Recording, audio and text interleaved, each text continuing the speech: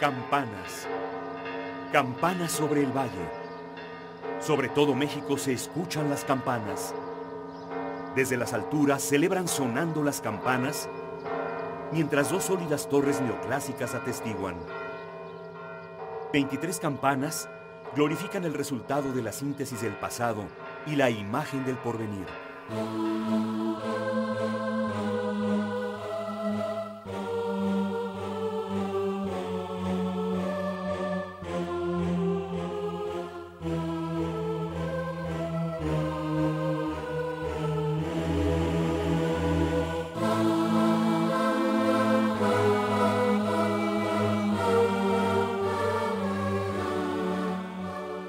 Catedral Metropolitana de la Ciudad de México ha crecido y visto crecer no solo una capital, también un territorio, una cultura. Durante el tiempo de su construcción, una nación tomó forma. El proyecto de un templo para la Nueva España se inició durante el mandato de Cortés y al concluirse en forma definitiva, Morelos encabezaba la Gran Rebelión. Y como la cultura del país al que acompaña y simboliza es el resultado de la fusión de diversas concepciones. En 300 años pueden surgir muchas visiones, muchos estilos. Místicamente gótica se eleva. Pero al mismo tiempo es austera y sobriamente herreriana. Quizá por ello un tanto melancólica. Por otra parte, la catedral danza todavía con suaves figuras del barroco. Aunque también tiene esa sofisticada y fina coquetería churrigueresca. Al clásico le debe solidez y al neoclásico modernidad. Solo hay que verla. Cierto, es una profusión de escuelas artísticas combinadas. Pero hay algo en ella que no deja de asombrarnos su integridad y su extraordinaria armonía, ya sea si tan solo deseamos conocerla o si participamos en la liturgia. La catedral es una y muchas a la vez, diversa pero única. Solo se parece a sí misma y a las culturas que la crearon.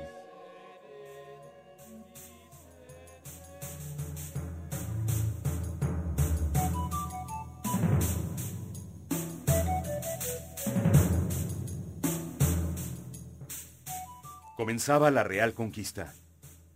Todo el esplendor arquitectónico de la Gran Tenochtitlan se acabaría por completo en breve. Se inicia así su destrucción y sobre todo la de su gran Teocali. El Templo Mayor había sido construido en varias etapas constructivas a lo largo de 200 años y eh, va empezando a, a destruirse prácticamente al momento de la conquista misma. Eh, había que desaparecer a los ojos de los españoles aquello que consideraban obra del demonio. Daba principio un nuevo culto ante la mirada atónita de los naturales, conjunto de prácticas, dogmas y rituales desconocidos que habían de imponerse a los anteriores. Hernán Cortés ordena la edificación de un primer recinto que permitiera en las nuevas tierras realizar el ceremonial católico por excelencia, oficiar misa. Vino entonces la transición. Bravos pedazos del Teocali con claros rasgos de tallas aztecas, incluidas deidades, se fueron apilando para dar forma a las tres naves de la iglesia mayor, con orientación este-oeste, sobre los templos aztecas y la puerta principal dando la espalda a su frente no pocas piedras de aquí deben haber ido a parar allá o esculturas. Tenemos inclusive eh, restos de, eh, um, columnas, de grandes bases de columnas coloniales en las cuales en la parte inferior se ve, por ejemplo, que habían sido esculturas de serpientes o de otros eh, dioses de los aztecas. Y vemos aquí lo que es la parte de abajo del cuerpo de la serpiente, pero inclusive dos restos que aparentan ser con colmillos aquí, y ya después la base de la columna, como va arrancando. A decir del historiador Manuel Toussaint, todo paulatinamente fue sustituido. la tradición indígena del culto exterior por las capillas abiertas, los crueles sacrificios humanos por el sacrificio incruento de la Eucaristía, el plumaje sacerdotal por las capas pluviales de hilos de oro y plata, la multitud de dioses por una gran corte celestial llena de santos, la turquesa y el pedernal por la custodia de oro y piedras preciosas, el zompantli por las criptas. Eran nuevos rasgos para nuevos rostros.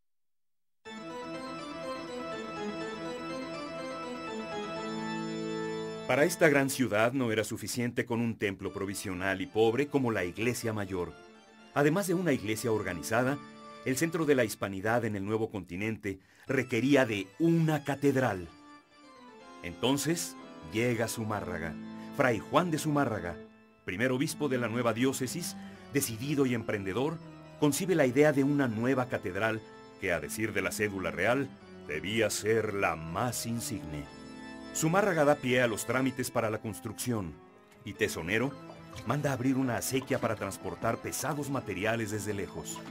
Pero la muerte lo sorprendió en estos menesteres y la construcción se interrumpió. ¿Cómo edificar una obra de dimensiones monumentales? Era necesario volver los ojos a España, al otro lado del mar.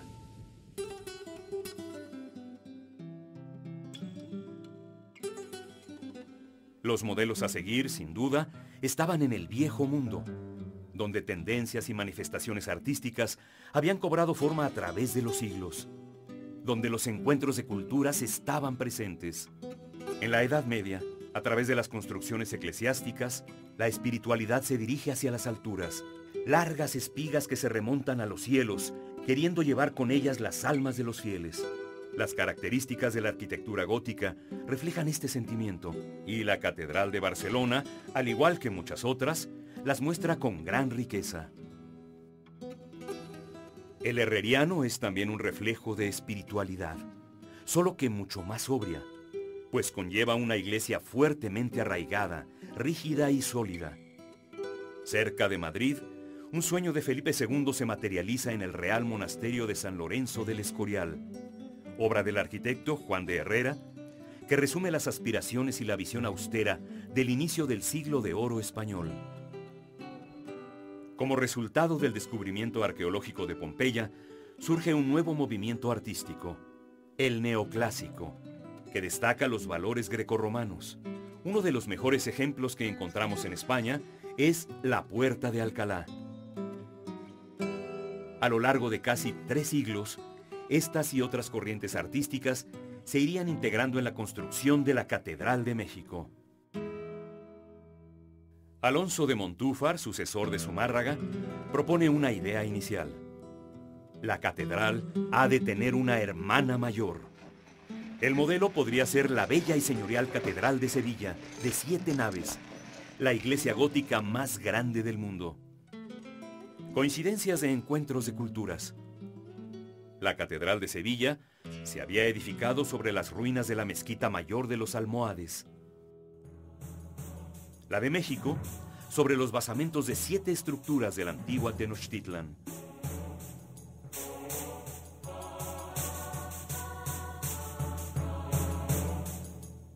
Montúfar envía la traza al rey y estima, defecto desde entonces común en nuestro país, que se construiría en 10 o 12 años.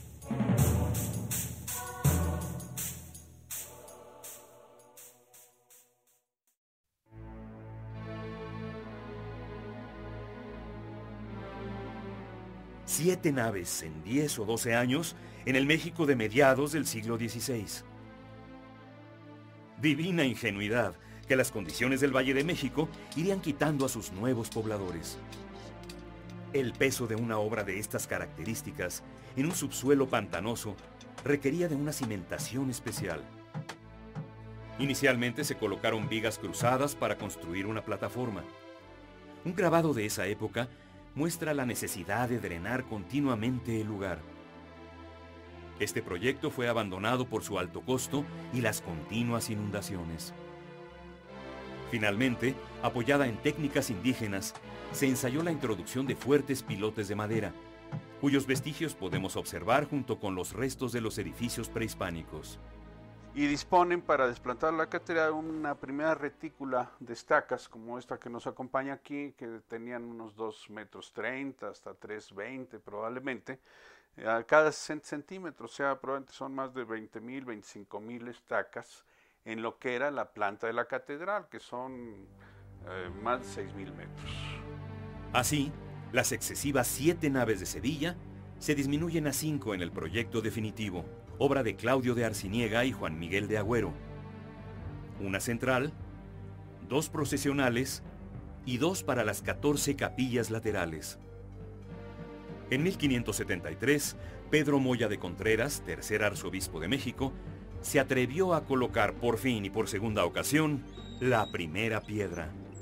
La obra comenzó con una orientación norte-sur contraria a la de la mayoría de las catedrales. Pero desde luego parece que hubo un intento de construirla también en la orientación tradicional oriente-poniente, pero lo que era probablemente las aguadas de la calle de reloj, las aguadas en la esquina de lo que ahora es Palacio Nacional, eh, impidieron y le quitaron seguridad al trazo y después de las primeras excavación decidieron mejor voltearla y además con mucho talento en cuanto al espacio arquitectónico, porque está la plaza.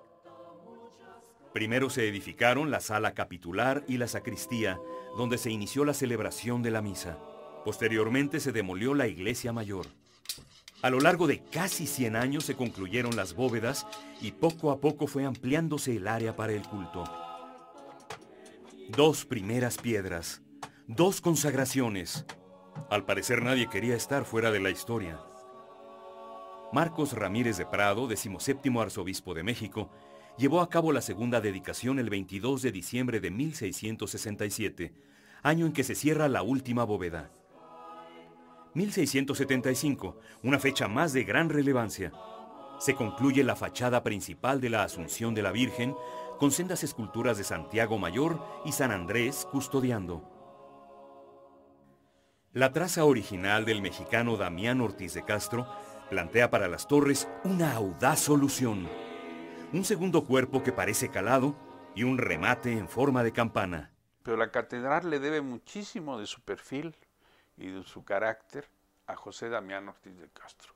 Él es el que resuelve particularmente las torres de catedral, resuelve la forma, este, toma decisiones muy importantes para que sean eficaces contra los sismos. Valiente arquitectura de Damián Ortiz en verdad. Valiente obra que en un principio inquietó, pero acabó por ser aceptada. En 1791 llega a México el famoso arquitecto y escultor Manuel Tolsá, quien impulsa el neoclásico, estilo imperante en España. Se hace cargo de concluir la obra de la catedral.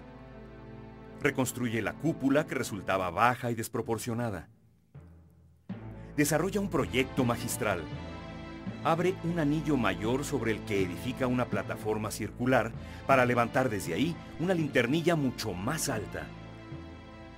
Para un observador situado sobre las bóvedas parecería desproporcionada, pero vale la pena mirarla de lejos. La obra está en genial armonía con el resto del templo. Brillante lección. Desproporcionar para proporcionar, diría Miguel Ángel.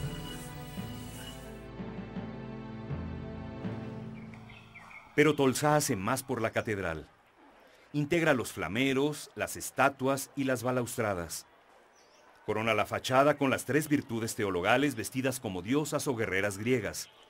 Así, la fe, la esperanza y la caridad permanecen sobre el cubo de un reloj de maquinaria exacta, colocado arriba de un, desde luego, posterior escudo nacional.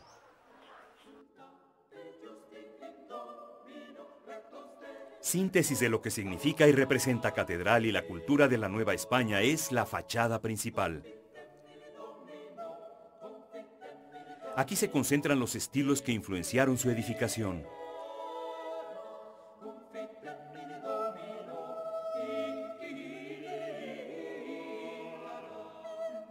La danza un tanto delirante del barroco en el segundo cuerpo, su orden jónico, el impresionante tablero central de piedra blanca, las columnas salomónicas, la ornamentación de las fachadas laterales.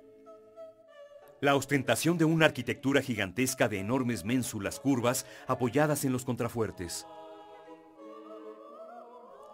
La catedral terminará siendo un magnífico recinto de 110 metros de largo por 54 y medio de ancho, con 51 bóvedas, 74 arcos, 40 columnas y 14 capillas.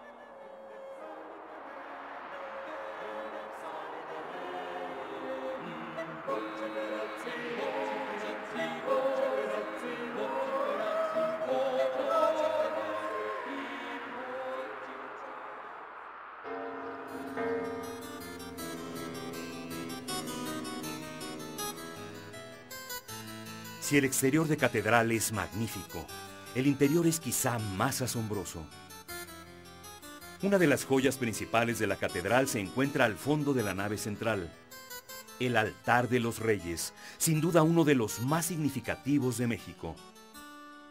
Representa una especie de paraíso, un reino interior que se vuelve luz sólida, reverberante. Es el recinto de Dios, donde sobrenadan en oro líquido los ángeles y los santos. Ninguna utopía americana es más resplandeciente que esta realidad barroca, forjada por las manos novohispanas, donde podría decirse que no hay tesoro que nos sorprenda ni brillo que falte. Obra de Jerónimo de Balbás, esta magnificencia de gran altura es de madera tallada recubierta por finísimas hojas de oro de 22 quilates. Balbás, Jerónimo de Balbás. ¿Qué sería del interior de catedral sin este artista? Su nombre está ligado al pasado o al presente de los tres altares más importantes del templo. A él se debe un ciprés en el que estuvo colocado el altar mayor, mismo que desafortunadamente se perdió. La gran puerta principal, que solo se abre en muy pocas ocasiones, es el acceso a un espacio que invita al recogimiento. Experto en belleza, Balbás nos regaló este maravilloso retablo, el altar del perdón, el altar de las leyendas. Cuentan las malas lenguas que un pintor mal hablado, Simón Peirens, avecindado en México hacia finales del siglo XVI, fue a dar a la cárcel por su costumbre altisonante Ahí, sobornando a celadores, plasmó una obra sobre la puerta de su celda. En una ocasión entra un celador a llevarle comida y ve en la puerta, al cerrar la puerta, ve una hermosísima virgen pintada en la puerta. Entonces, azorado, va a avisar a, sus, los superiores, a los inquisidores, quienes llegan a ver el trabajo y se quedan asombrados de ver la obra, la Virgen maravillosa que había pintado este hombre en la puerta. Desgraciadamente, esta obra se perdió en un incendio, junto con la mayoría del retablo. Hoy, un cuadro del mismo autor descansa ahí.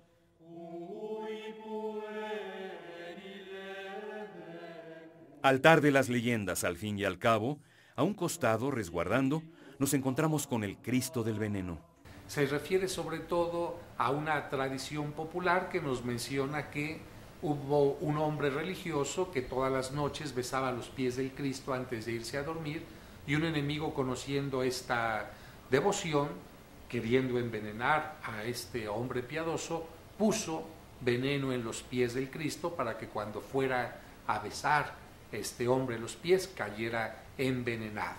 Ante la admiración de todos, porque había varias gente presente, aquel hombre cuando se acercó a besar devotamente los pies del Cristo, notó que el Cristo flexionaba las rodillas, moviendo los pies, impidiendo ser besado, y después se convertía en negro de la parte de abajo a la parte superior, absorbiendo totalmente el veneno.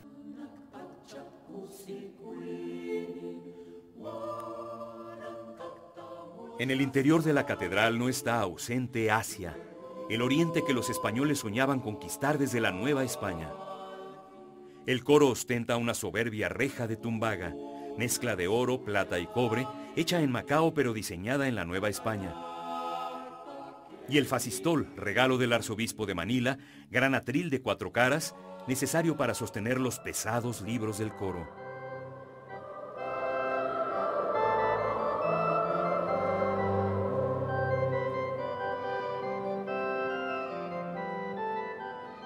Alabanza a Dios Fin de una catedral. Ahí la religión penetra al alma de sus fieles a través de los sentidos y el oído es fundamental. De aquí la importancia del coro de la catedral. Un espacio en plena nave central con dos niveles de sillería tallados con maderas preciosas de las selvas del sureste mexicano, obra de Juan de Rojas, acompañados en los costados por dos enormes órganos tubulares, con flautas y trompetas de plomo y madera. Desde ahí, los hombres con su voz y sus instrumentos celebran la grandeza de la divinidad y elevan súplicas hasta los oídos del Señor.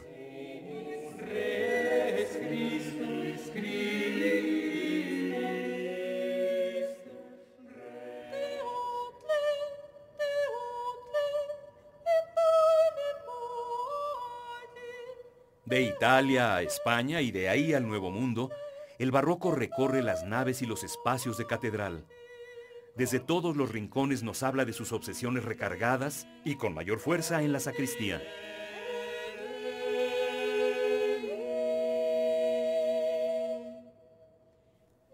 Este espacio, el más antiguo de la catedral, conserva evocaciones del gótico en las nervaduras de las bóvedas. Es un recinto de guardar y para guardar. Da cobijo a las vestimentas magníficamente bordadas por manos ligeras, los cálices y las custodias, instrumentos tan bellos y dignos como el oficio que realizan. También resguarda una de las máximas manifestaciones de la plástica barroca novohispana. Dulce poesía de matices rojos con entonaciones azules y verdes y que entre ensueños solo pretenden apetecer a la vista y hacer admirable el vivir. Dulce barroco el de Correa y Villalpando en Catedral.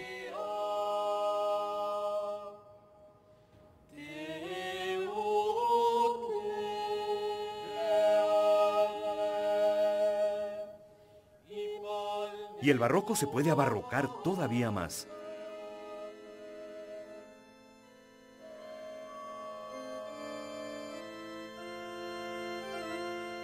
El Sagrario de Lorenzo Rodríguez es un desbordamiento de finura ornamental que tendrá profunda influencia en la arquitectura mexicana del siglo XVIII. Se despliega en la combinación del tesontle con la piedra labrada. Aquí el barroco se sobreactúa con todas sus fantasías. El barroquismo del barroco, con su alarde de columna estípite que no deja de transmitir sentimientos de melancolía. Es como un altar, pero labrado en la piedra. Es, tan fino su trabajo, tan elaborado, que es como ver un altar de, madera, pero labrado en piedra.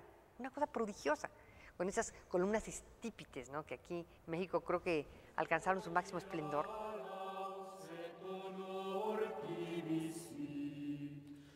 El misterio lo encarna la divinidad, el rito la iglesia, el culto la fe de los fieles, Surgen entonces devociones paralelas de carácter local, cultos que expresan inclinaciones particulares. Esta es una de las causas que dieron origen a las capillas en las grandes catedrales, dar cabida a diferentes veneraciones. Son retratos fieles de los fieles, de su vida, sus creencias y costumbres. Son retratos del alma de un pueblo, y estos son algunos de los 14 nuestros. La capilla de Nuestra Señora la Antigua, que algo sabe de aventuras, pues se dice que la escultura del Santo Niño cautivo fue secuestrada en alta mar por piratas berberiscos y solo de vuelta a catedral cuando el Cabildo de la Ciudad de México pagó dos mil pesos por su rescate. La de Los Ángeles, que entre pámpanos de oro, columnas salomónicas y cuadros de Juan Correa, dedica su culto a los ángeles que manifiestan el poder de Dios, desde su fortaleza hasta su clemencia y justicia.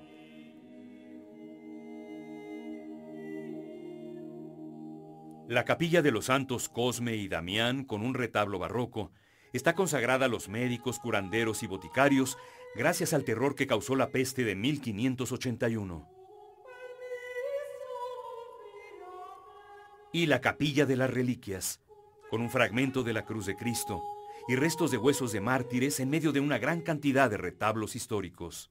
Toda la iconografía de una capilla por supuesto que tenía que ir de acuerdo al santo a quien está dedicado, o bien a los santos a quienes está dedicado este local, este sitio. Y esto hace una, una catedral también llena de historia, porque no solamente nos habla de las cuestiones litúrgicas, sino también qué pasó en cada capilla. Como sabemos, en una capilla hubo un atentado contra un virrey, en otra capilla se pusieron los restos de los mártires de la independencia. ¿Por qué en ese lugar? En otra capilla la gente ponía a un Cristo que era propio para pedir la salud. ¿Por qué en esa capilla?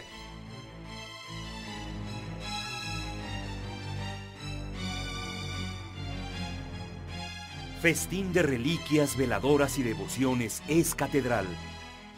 Festín de formas, colores, sonidos y olores en sus altares de los reyes y el perdón. En su sacristía, coro y capillas. Plenitud de los sentidos que penetran almas.